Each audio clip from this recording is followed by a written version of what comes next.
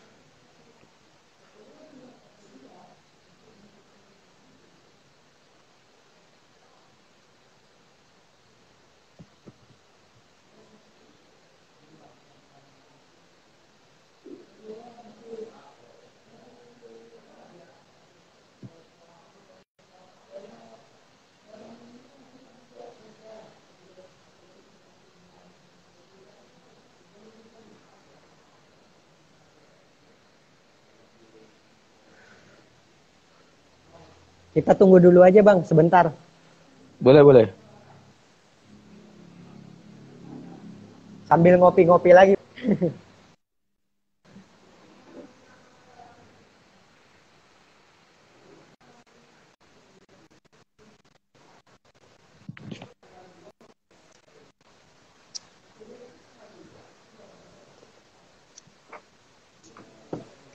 Bang, tapi tadi suara saya putus-putus nggak?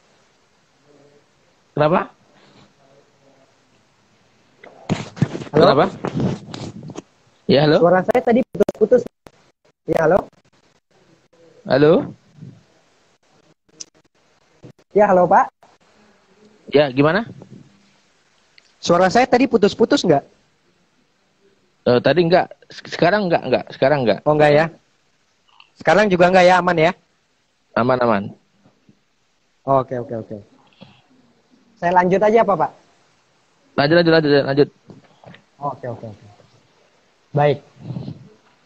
Tadi kita sampai terhadap emanasi ini dihajar habis-habisan baik dari filsuf muslim maupun dengan filsuf barat. Al-Ghazali meluncurkan buku yang berjudul Tahafatul Falasifah yang intinya menentang habis-habisan teori emanasi ini. Itu di Islam. Di Kristen, dekret gereja itu sampai dilahirkan oleh gereja Vatikan ketika itu. Ada 200 lebih dekret fatwa, fatwa gereja. Propos inti inti dari fatwa itu ada 200 lebih proposisi bid'ah menurut gereja yang dilakukan oleh para filsuf emanasi yang tadi. Baik, tadi juga saya sampai pada penjelasan bahwa Barat akhirnya memberikan alternatif lain yaitu rumus matematika.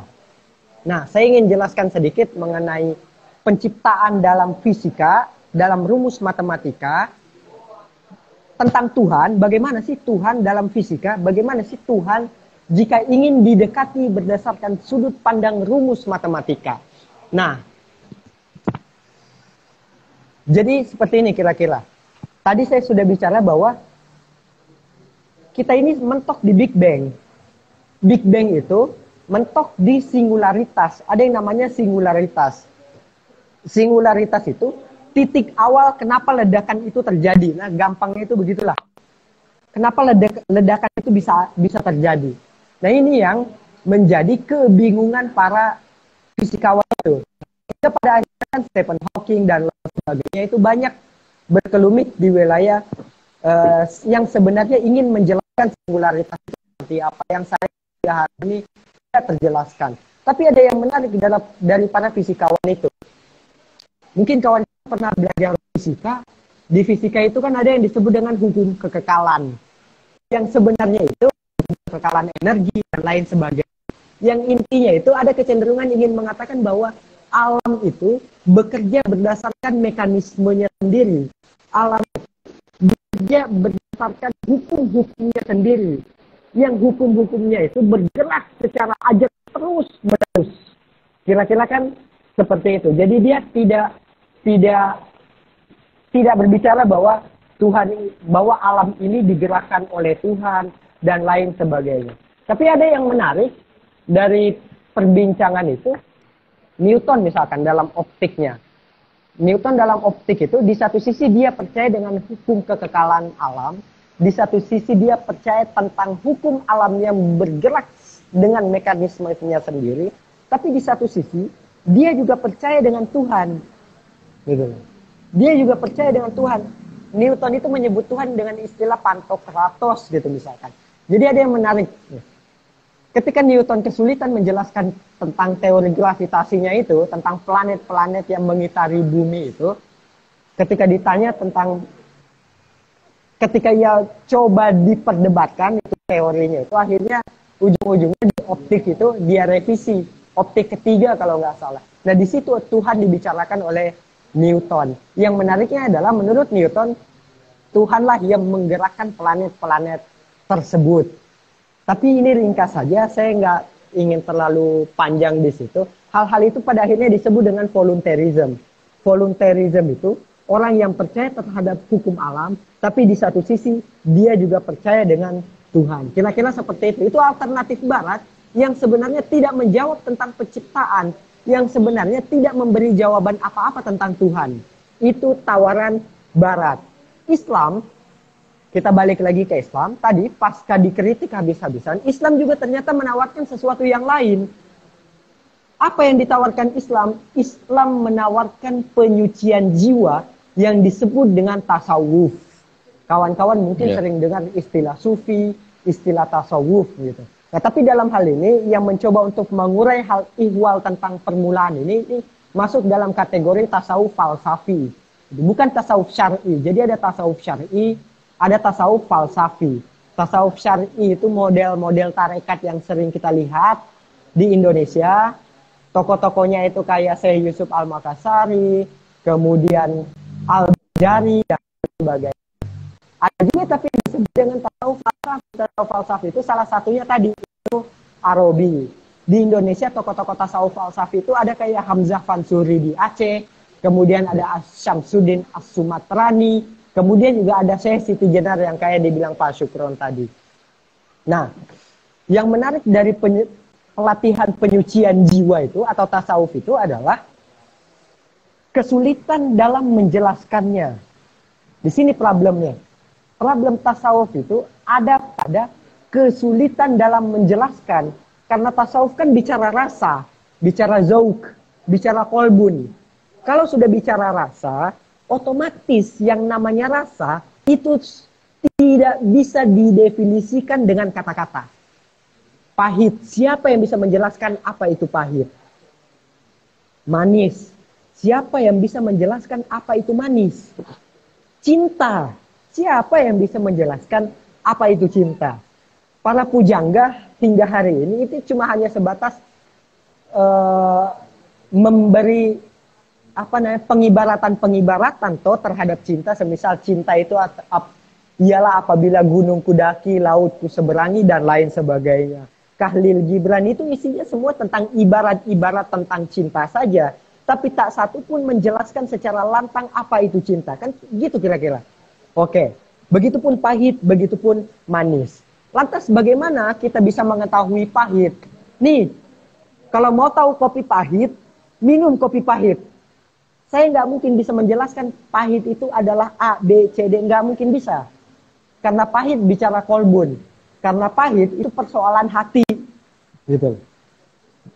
Begitupun cinta. Karena cinta itu persoalan hati karena itu, ia tidak mungkin dapat dibatasi dengan kata-kata. Oke, maka kalau tasawuf juga bicara soal rasa, maka salah satu problem utamanya adalah ketika ia menjelaskan perasaan itu terhadap masyarakat umum, gitu. Susah dimengerti dan nggak bisa dijelaskan tasawuf itu. Maksudnya tingkatan-tingkatannya itu.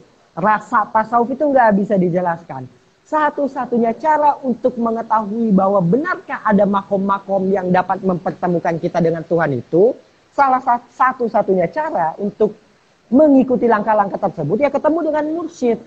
Ya ketemu dengan guru yang dapat membimbing kita masuk ke dalam pelatihan-pelatihan itu. Tampaknya sudah pasti mustahil. Karena itu kalau misalkan kita lihat pengajian-pengajian tasawuf atau pembelajaran-pembelajaran tasawuf di sekolah atau di kelas itu bukan tasawuf gitu loh. Itu hanya pengenalan tentang tasawuf gitu loh. Praktik tasawufnya mustahil dijelaskan di masyarakat umum yang seperti itu. Praktiknya itu face to face biasanya. Satu lawan satu. Di mana mursyid akan membimbing murid. Nah, kira-kira itu seperti itu. Tapi Barat kesulitan menerima itu. Kesulitan toh karena sifatnya subjektif. Lagi-lagi soal rasa. Lagi-lagi soal cinta. Ingat, dalam tasawuf, makomat tertinggi adalah sesuatu yang disebut dengan mahabbah. Apa itu mahabbah? Itu cinta. Nah ini maksudku.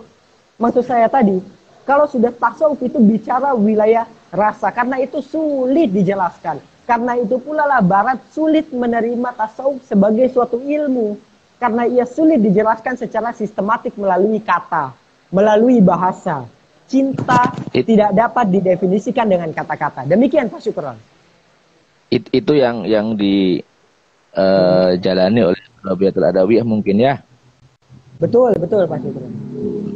Ya, apa namanya memang sulit untuk di ini, apa nama bahasanya itu di di dipikirkan sehingga dia tidak bisa memikirkan itu karena udah saking cintanya. Betul, betul, betul. Tuhan ya. ya.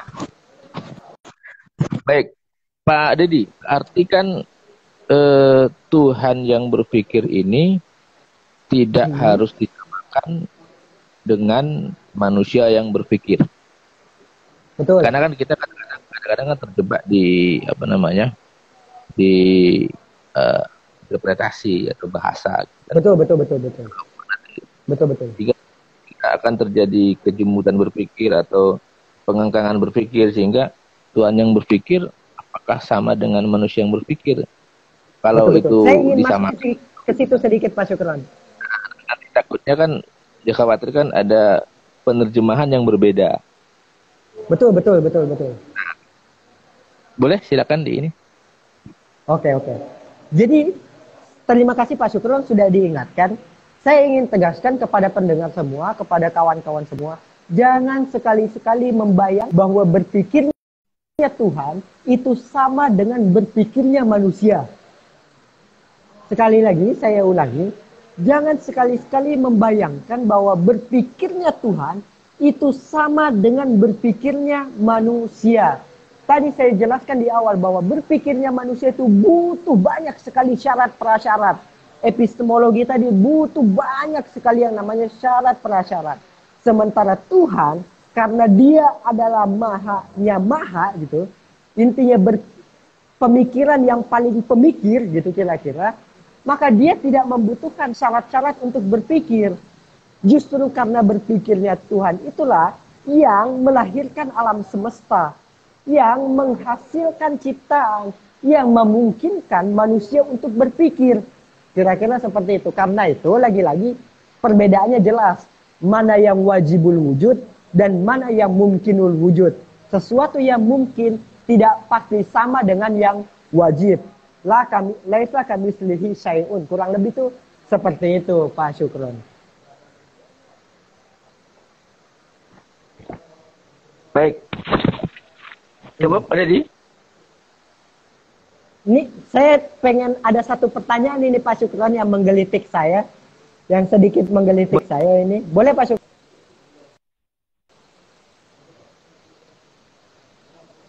Silakan kalau ada pertanyaan. Saya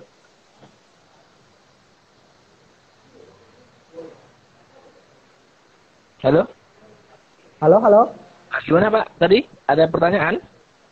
Nah ini ada pertanyaan yang ingin saya jawab Pak Syukron. Boleh Pak Syukron ya? Ya. Boleh, boleh. Oke, oke, oke. Pertanyaan ini dari Vale Giawan. Bang, bagaimana perbedaan antara teologi dengan filsafat ketuhanan? Oke, ini pertanyaan keren. Karena sebenarnya biasanya ketika saya menyampaikan filsafat, hal pertama yang saya sampaikan itu biasanya perbedaan antara teologi, apa itu teologi, apa itu filsafat, apa itu tasawuf? Karena ini mirip-mirip. Oke, saya ulangi lagi. Apa itu teologi? Apa itu filsafat? Apa itu tasawuf? Tiga ini sebenarnya mirip-mirip.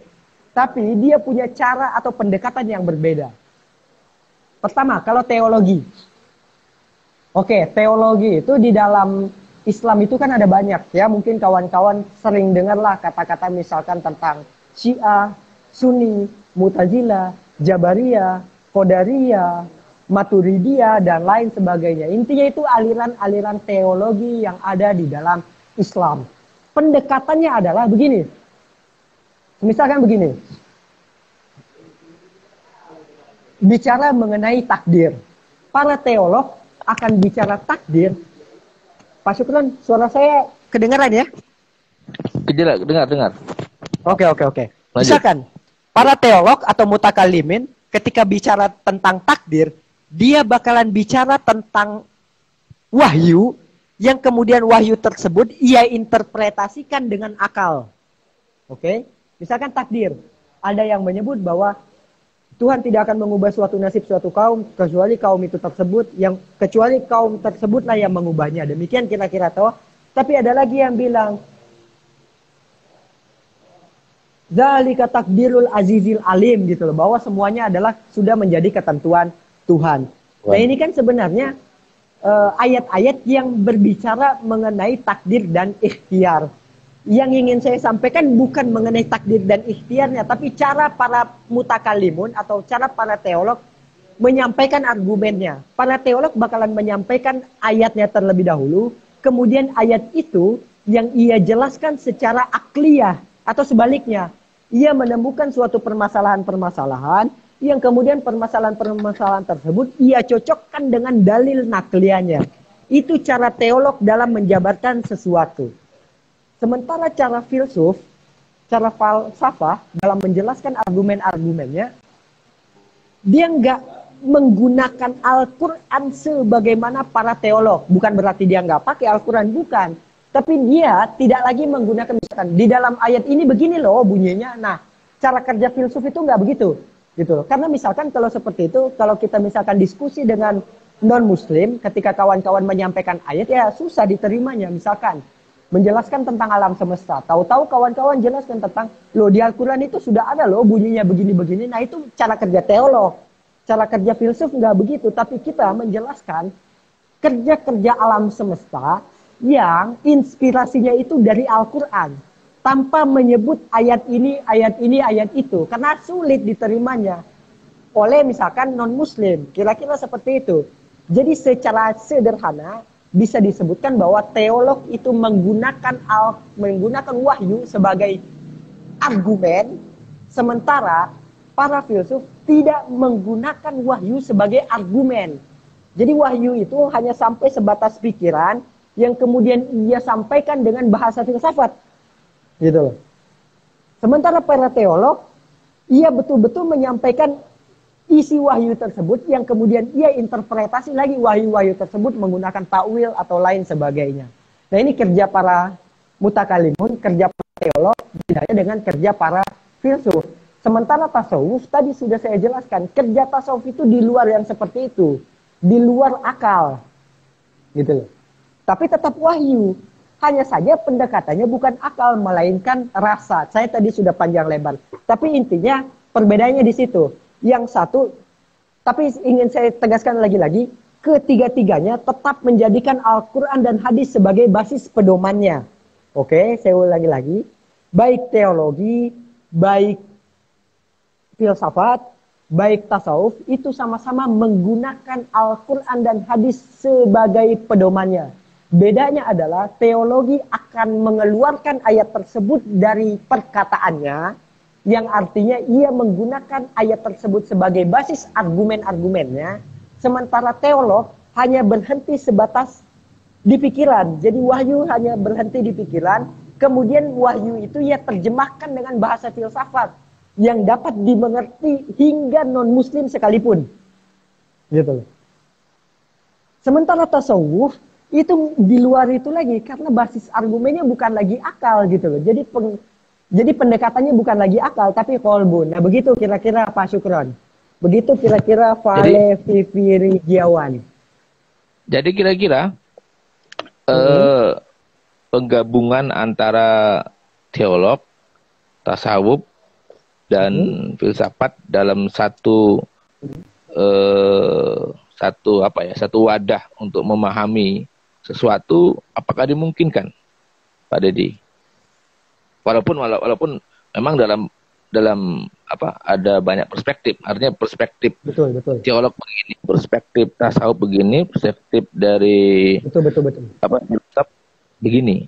Tapi ada nggak uh, satu ruang di mana bisa ketemu? Walaupun kalau kita berbicara ini dalam sejarah memang akan sulit ketemu gitu kan? Tapi mungkin ya, kalau betul, misalnya betul. Misalnya uh, kita bisa menemukan satu titik saja mungkin ini sebagai sebuah apa ya tanda kutip wow, itu pencapaian luar biasa. Nah itu ya. dimungkinkan nggak? Mungkinkan nggak kita sampai pada posisi itu? Ataupun okay. bisa jadi mungkin? Atau akan okay. sulit? Ataupun tergantung dengan individu-individu masing-masing. Oke. Okay. Saya ingin mundur sedikit ke belakang Pak Syukron. Kenapa sih? Nah, dari uh, argumen saya tadi tentang teolog, tentang filsuf, tentang sufi, pada akhirnya kan kita bisa membatasi. Kenapa misalkan Wasil bin Ato dalam Mutazilah itu nggak disebut sebagai filsuf? Jelas Pak Syukron yeah. suara saya? Oke, jelas, jelas Pak Syukron ini? Oke. Okay. Kenapa Wasil bin Ato nggak disebut Ato? sebagai filsuf? Nah, yeah. Karena tadi dalam dalam Wasil bin Ato ketika mengurai argumentasi-argumentasinya dia menggunakan dia mengeluarkan ayat gitu loh. Dia mengeluarkan wahyu di situ. Gitu loh. Makanya ia dikategorikan sebagai mutakalimun kan kira-kira seperti itu Pak Syukron. Masuk ke teolog ya. Gitu. Masuknya ke teolog beda lagi dengan yeah. Arrozi misalkan Abu Bakar Arrozi. Dia nggak dikategorikan sebagai teolog tapi ia dikategorikan sebagai filsuf. Tadi bisa kita ambil secara sederhana di di perbedaan yang saya uh, uraikan sebelumnya kan kira-kira seperti itu. Tapi ada satu sosok lebih sebenarnya, tapi kalau kita yang paling terkenal itu Al Ghazali, di iya. mana yeah. ia masuk sebagai mutakalimun, ia juga filsuf, ia juga sufi. dia dia ber, dia berada okay. pada tiga posisi. Dia berada pada tiga posisi. Hanya cuma, saja Pak Syukron. Cuma pada, cuma pada dia sampai kepada posisi yang nyaman di tasawuf mungkin begitu ya? Tasawuf. Tapi ya betul. Tapi yang ingin saya saya sampaikan Pak Syukron perjalanan Al Ghazali itu tidak berbarengan. Tiga posisi itu tidak berbarengan. Dimulai dari teologi dulu gitu yeah. kan? Pasca teologi yeah. filsafat, filsafat. Pasca filsafat baru pada akhirnya tasawuf. Itu juga tidak berbarengan. Sementara yeah. pertanyaan Pak Syukron tadi itu kan di mana ketiga itu berbarengan? Bisa menyatu bisa menyatu. Nah ini beda dengan kasus Al Ghazali. Kasus Al Ghazali itu tidak yeah. berbarengan, gitu loh. Yeah. Tapi dimulai dari teologi, Betul. kemudian filsafat, kemudian baru akhirnya di tasawuf karena dia merasa pencapaian tertinggi itu ada di tasawuf. Oke, coba saya ingin jawab pertanyaan Pak Syukron tadi. Dimungkinkan tidak ketiga ilmu tersebut di satu padukan? Saya justru ingin mengatakan Pak Syukron akan lebih baik jika sebenarnya tidak disatukan saja. Oke, sekali lagi. Yeah. Sebenarnya jika hal itu dibiarkan saja berjalan berdasarkan jalannya masing-masing. Karena begini Pak Syukron, sering kali bahkan ketiganya bertentangan satu sama lainnya. Ya. Yeah. Oke, saya ulangi lagi sekali lagi. Seringkali bahkan ketiganya saling bertentangan satu sama lainnya. Misalkan uh, ini dari kritik Al Ghazali sebenarnya Al Ghazali menggunakan pendekatan pendekatan teologi dalam mengkritik misalkan para filsuf ini. Jadi teologi versus filsafat nih. Jadi dalam filsafat ada yang disebut dengan eskatologi itu tentang hari akhir. Jadi ada pertanyaan apakah yang dibangkitkan nanti ini rohani apa sebatas jasmania. Nah, para filsuf itu mengandaikan bahwa yang akan dibangkitkan nanti ini hanya jiwa atau hanya sesuatu yang disebut rohania. Kenapa demikian? Karena yang namanya jasmania itu pasti hancur, gitu loh. Yang mana yang namanya jasad itu pasti hancur, pasti ludes, gitu loh. Karena itu yang dibangkitkan adalah hanya sebatas rohania. Nah ini kan bertentangan dengan teologi. Di mana teologi terutama ahlu sunnah wal jamaah versinya Al-Ghazali, ia mengatakan yang dibangkitkan itu bukan hanya rohani, tapi juga jasmani. Kata Al-Ghazali. Yeah. Nah ini maksud saya pertentangan antara filsafat dengan tasawuf. Kenapa bisa bertentangan? Karena pendekatannya pendekatannya beda. Gitu. Nah, yang menjadi masalah itu de, sering kali demikian Pak Syukron. Seringkali kita mengkritik filsafat tapi menggunakan pendekatan teologi atau hmm. sebaliknya. Hmm. Seringkali kita mengkritik teologi tapi menggunakan pendekatan filsafat, nggak ketemu. Nah, ya, begitu kira-kira dari saya. Kalau sudah demikian kan nggak ketemu, susah ketemunya. Oke, Pak Dedi, mungkin kita ada beberapa waktu lagi, mungkin kira-kira uh, dari buku ini satu jam setengah ini kita ya. Iya. Dari buku ini kira-kira apa hmm. yang Pak Dedi ingin berikan ada atau istilahnya apa ya? Uh, yang bisa diambil dari buku ini dari uh, apa namanya ya semacam okay. ilmu gitu. Karena pada dasarnya begini okay. Pak Dedi, uh, dari tasawuf dan uh, filsafat sebenarnya kan tujuannya satu bagaimana kita bisa uh, dekat tanda kutip dengan Tuhan. Halo? Halo, halo, halo? iya. Kedengeran, Pak. Jelas, halo, halo. Jelas, jelas, Pak, jelas, halo? jelas. Ya, artinya kan dari teolog, filsafat dan juga tasawuf ini uh, tujuan utamanya menurut saya mungkin juga Pak Dedi bagaimana uh, kita bisa dekat dengan Tuhan. Ya betul. Kan begitu. Kan bisa memahami Tuhan dengan berbagai macam apa namanya ketentuan-ketentuannya. Tapi jalannya kan beda-beda begitu. Ya betul. Kira-kira buku ini apa yang mau bapak inilah apa pengen berikan begitu sehingga okay. ada ada bekasnya begitu. Baik baik baik. Pertama Pak Syukron bahwa uraian uh, saya tentang teologi, tasawuf, kemudian filsafat tadi, itu sebenarnya subjektif saya aja dalam membaca teologi, dalam membaca filsafat, dalam membaca tasawuf. Perspektif atau dari tokoh-tokoh lain itu masih banyak.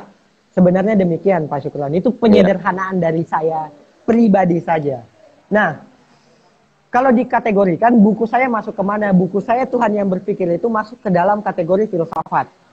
Bukan teologi, yeah meskipun menyentuh sedikit teologi, bukan tasawuf, meskipun sedikit menyentuh ranah tasawuf, yaitu tasawuf falsafi. Bukan juga fisika, meskipun menjelaskan hal-hal observasional sedikit. Kira-kira demikian Pak Syukron. Nah, yang ingin saya sampaikan pada buku tersebut sebenarnya sederhana. Bahwa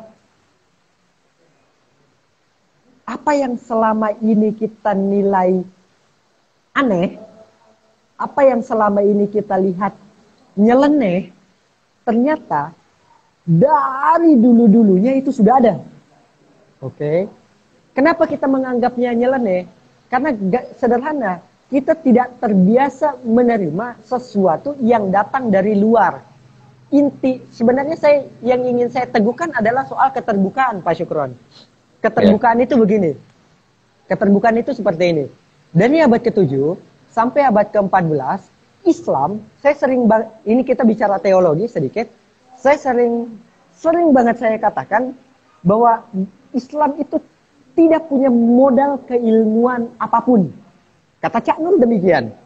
Modalnya cuma satu, yaitu keterbukaan. Yang akhirnya ilmu-ilmu yang datang dari luar dapat ia serap, dapat ia tanda kutip Islamkan.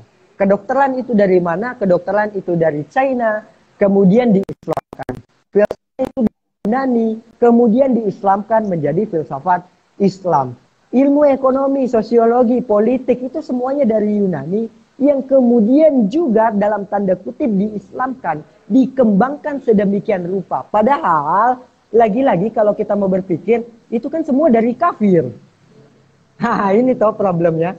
Lagi-lagi itu kan semua dari kafir. Tapi kenapa misalkan dari abad ke-7 sampai abad ke-14 di mana Islam berjaya itu justru dengan mudahnya dapat menerima ilmu-ilmu yang datang dari luar tersebut gitu. Justru hal itu pula lah yang pada akhirnya membuat peradaban Islam maju sedemikian rupa. Nah, saya sebenarnya yeah. bercita-cita gimana caranya pembaca saya itu dapat terbuka dengan sesuatu yang berbeda dari apa yang ia pahami selama ini. Gitu loh. Nggak tertutup Tertutup itu begini, wah mentang-mentang beda, nggak mau dibaca. Wah mentang-mentang dari tanda kutip kafir, tidak mau diterima. Padahal sebenarnya dari abad ke-7 sampai abad ke-14 itu Islam sangat terbuka terhadap ya. ilmu-ilmu ya. yang datang dari luar. Ilmu-ilmu yang berbeda. Demikian Pak Syukron. Ya, memang kalau dalam sejarah abad ke-7 sampai ke-14 di mana ini ya uh, Umayyah ya. Iya, betul.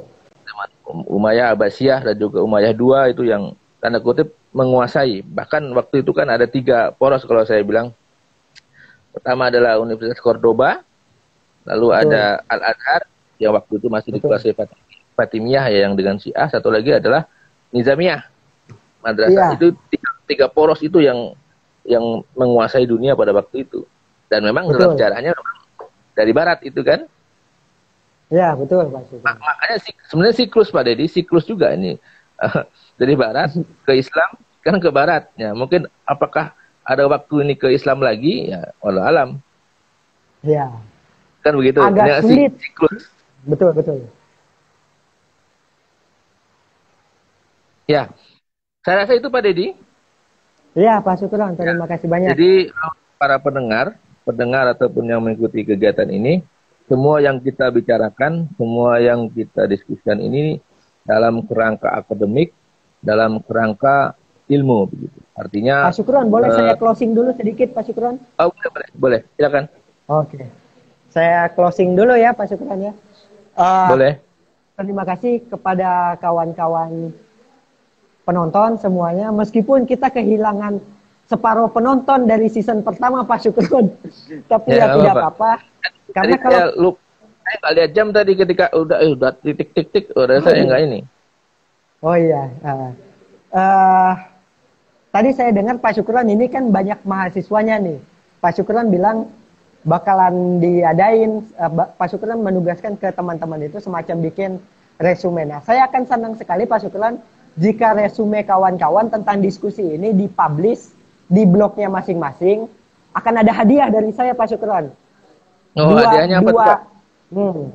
Oh itu masih rahasia lah Pak Syukron. Pokoknya dua, oh, dua, dua, dua tulisan terbaik akan ada hadiahnya dari saya kira-kira demikian Pak Syukron. Maka oh, ada boleh, baiknya boleh. kalau tulisan-tulisan teman-teman mahasiswa semua dipublish di blognya masing-masing itu kan di satu sisi bakal meningkatkan kredibilitas sekolah tinggi yang ada di sana Pak Syukron kan karena boleh. paling tidak kan terindeks Google dan sebagainya. Di satu sisi boleh, saya boleh. juga bisa baca tulisan teman-teman tentang uh, apa yang kita diskusikan tentang buku Tuhan yang berpikir ini. Demikian Pak Syukron. Uh, ya, jadi ada silakan Fitri di... Depak itu. Oh iya, Fitri jadi Depak silakan. Saya nggak tahu. Oh iya, jadi silakan teman-teman uh, bikin resumnya, kemudian diupload di blog masing-masing kemudian kirim ke saya, saya akan milih dua resume atau dua resensi lah bisa dibilang, dua resensi terbaik ya. dari teman-teman mahasiswa sekalian. Baik, cukup sepertinya dari saya Pak Syukron. Uh, apa pun yang saya sampaikan, sejatinya punya potensi untuk salah.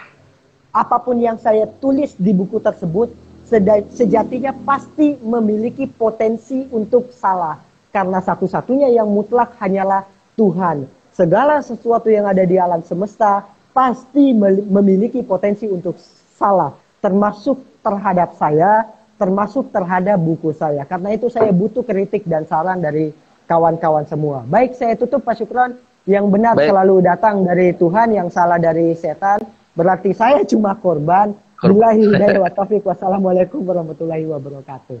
Baik, jangan ditutup dulu Pak Dedi. Jadi uh, ya. diskusi, diskusi kita malam ini, sesi yang pertama tadi memang uh, pertama dalam rangka untuk membedah buku ini, buku karangan Dedi Ibmar yang pertama. Semuanya itu dalam kerangka akademik, dalam kerangka ilmu pengetahuan, sehingga ketika misalnya ada apa namanya ada kritik atau saran juga dalam kerangka akademik sehingga uh, itu yang harus mencatatkan sehingga tidak tidak bias begitu.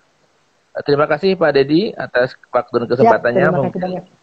Lain kesempatan kita bisa ketemu lagi di di tema yang berbeda. Bukunya sangat menarik. Mungkin uh, ini tersedia di Pustaka Obor ya Pak Dedi ya? Ya tersedia Pak. PO-nya sudah selesai sepertinya. Ya ordernya mungkin bisa kawan-kawan nanti mungkin ketika sudah di di toko buku bisa membelinya dengan baik. Saya rasa itu. Terima kasih. Uh, nanti mungkin nanti akan saya masukkan di IGTV saya. Mungkin di, bisa kawan-kawan yang belum berkesempatan mengikuti bisa mengikuti lewat IGTV. Saya rasa itu Pak Dedi. Terima kasih. Siap. Siap. Terima kasih banyak semuanya. Terima kasih banyak. Mohon terima kasih kepada semuanya. Terima kasih. Mudah-mudahan Terima kasih. Assalamualaikum warahmatullahi wabarakatuh. Selamat jumpa. Sampai jumpa.